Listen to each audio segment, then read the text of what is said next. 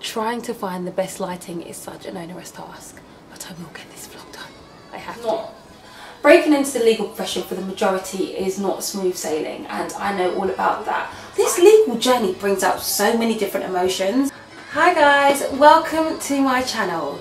So I just thought I would start off with a little introductory video just to give you an insight as to who I am and what it is that I do and um, maybe why I'm doing this. My name is Coleen Mensa and I recently graduated with a law degree. So after the university I went on and did the LPC at City University.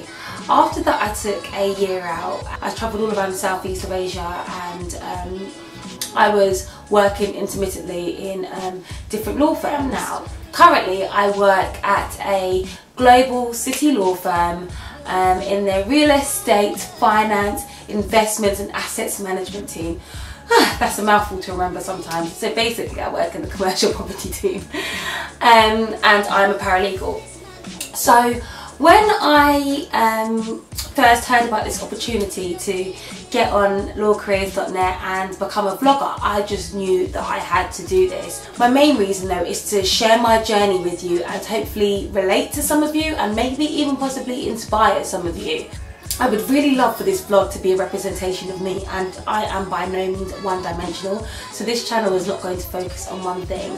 Um, it's going to be quite sporadic, quite random, um, it's going to document my legal journey so I want you guys to be able to um, see my legal journey um, from where I am now. I'm obviously applying for training contracts at the moment for you to be able to see the real deal and by that I mean when I'm happy, when I'm sad, when I'm stressed, when I'm confused, when I need advice from people in the legal profession.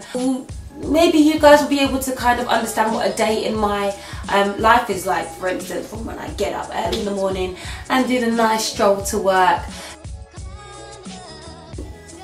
I'll be able to maybe share a few tips and tricks that I've learned with you. For instance, I pride myself on being a very good networker and um, that was something, that was a skill that I never always had but I've built it um, from scratch and I was never always the most confident. Thank you so much for watching my video. I'll speak to you in my next one.